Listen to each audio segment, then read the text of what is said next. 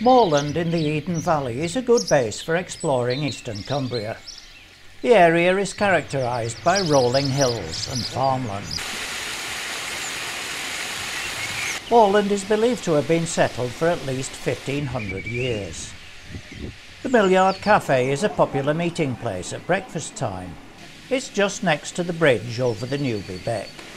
The village is centrally located in the valley, a scenic rural area lying a few miles from the Lake District to the west, the Pennines to the east and the Yorkshire Dales to the south. The grounds of Morland House, the Grade II listed former vicarage dating back to the mid-16th century, are open to the public, free of charge. At the top corner of the garden, a small gate leads to the Church of St Lawrence, with the only Saxon tower in Cumbria. A Viking sword was found buried in the churchyard in the 19th century, suggesting Viking influence in the area. There's a topiary rabbit by the churchyard entrance. Back in the garden, steps lead down to the stream, with riverside walks and a secret Victorian quarry garden, complete with grotto and waterfalls.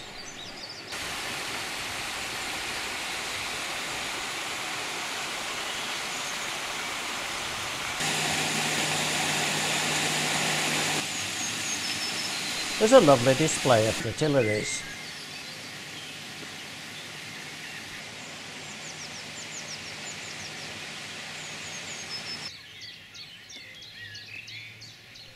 We left Morland over the ford.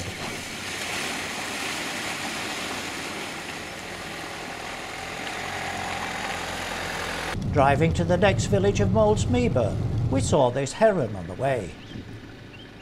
This tiny village with a stream running through the middle dates back to the 12th century.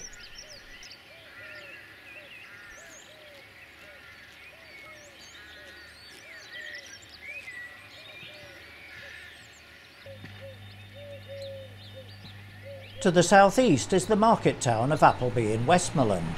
Just off the market square, the Church of St Lawrence, dating from about 1150, is a Grade 1 listed building.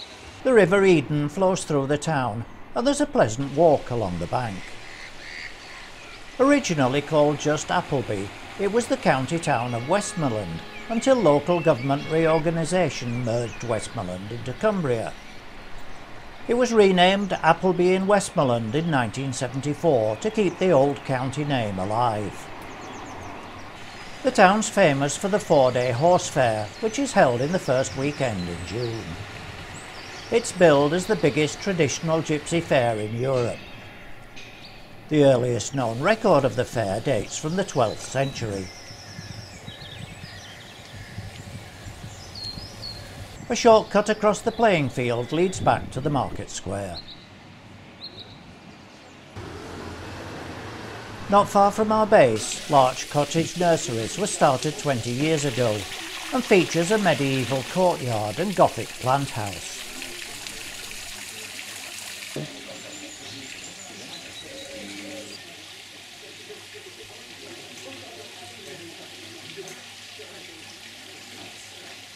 Romanesque style ruined walls accommodate individual gardens entwined with selling areas.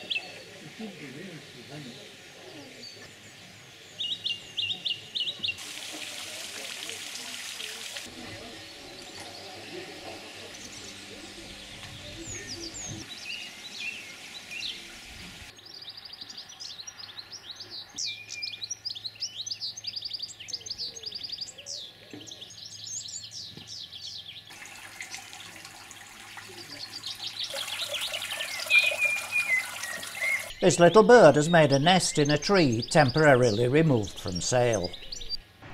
The massive earthwork monument of Mayburgh Henge, believed to be four to five thousand years old, stands right alongside the M6 motorway one mile south of Penrith. The circle is built of river cobbles and it's believed to have been a meeting place. In the centre is a single nine foot high monolith, the only remaining one of four. To the west is the northern end of the Lake District, and the first place we come to is the 13th century Watermillock Church, which serves the northern end of Ullswater. Further down the lake is the National Trust car park for Aira Force. The one mile round trip to the waterfall starts gently enough across a flat area of woodland.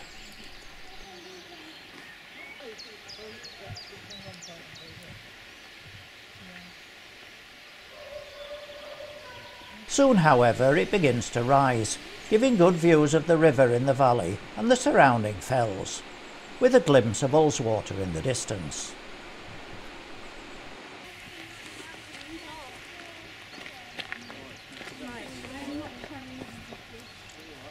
It then descends to the bridge over the falls.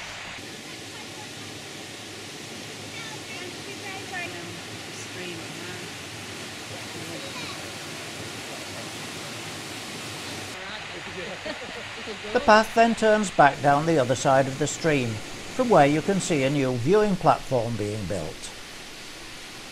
Back in the valley bottom it recrosses the stream to return to the car park and cafe for a welcome hot drink overlooking the fields and fells.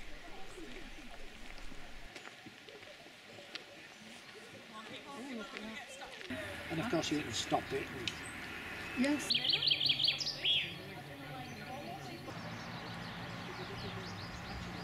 A little further down the road is Glencoyne Bay, where there's easy access to the water's edge.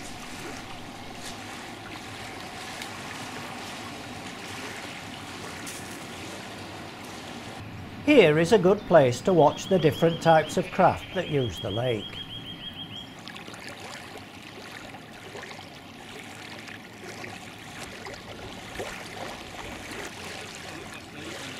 One man brings his paddleboard every day to use as a platform for feeding the swans.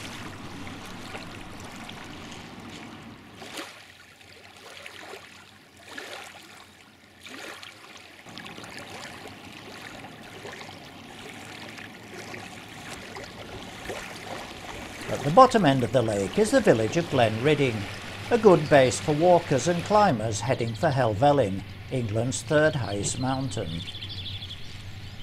At the very foot of the lake is Patterdale. This is sheep country, and the newborn lambs are still a bit unsure as to who is mum. Ah, there she is. The tiny hamlet sits at the side of a stream and is surrounded by farms. Back at the top of the lake, a narrow road follows the eastern shore, coming first to Howtown, where there's an outward bound centre.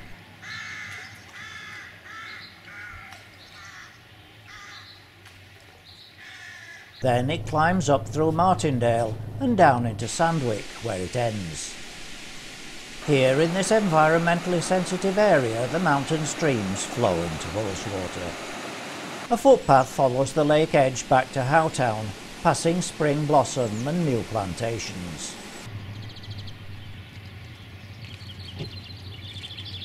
It's got to be better than cycling over the pass.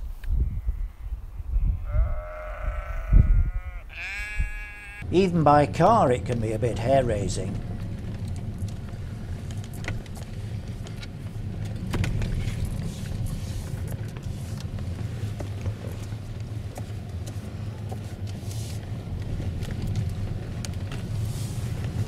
Hutton in the Forest is a beautiful house on the northeastern edge of the Lake District. It was built between the mid 14th and mid 19th centuries. The house is surrounded by beautiful gardens with lots of topiary trees, this one resembling a train. The gates to the walled garden represent pear trees.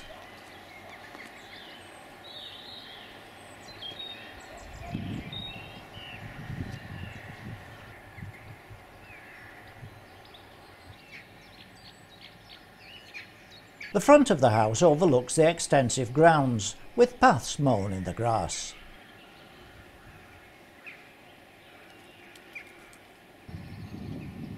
A look back gives a good view of the whole estate. To the north of Penrith, a network of narrow roads leads to a group of picturesque fellside villages along the eastern edge of the Eden Valley. Near to Salkeld is Long Meg and her daughters, a 350 foot circle of 69 stones dating from 1500 BC. 12 foot tall Long Meg, which is decorated with mysterious symbols, stands 60 feet outside the circle. The circle was probably used as a meeting place or for some form of religious ritual.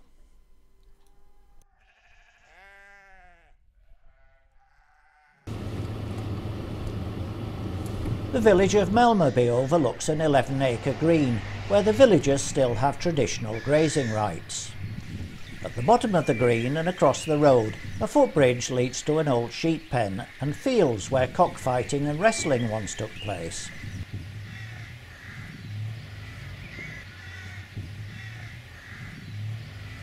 Further north is the unspoiled settlement of Gamblesby.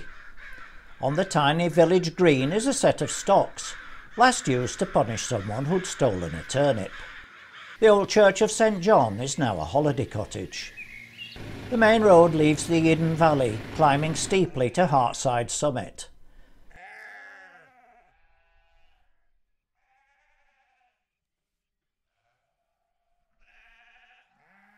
The unusual seating here gives long-reaching views as far as the Solway Firth. The road then descends to Alston, which, along with Buxton, is the joint highest market town in England. The ancient Market Cross was actually built in 1981, its two predecessors having both been demolished by lorries. Much of the town centre is a designated conservation area, if you continue on the main road, you'll come to Northumberland, the subject of our next movie.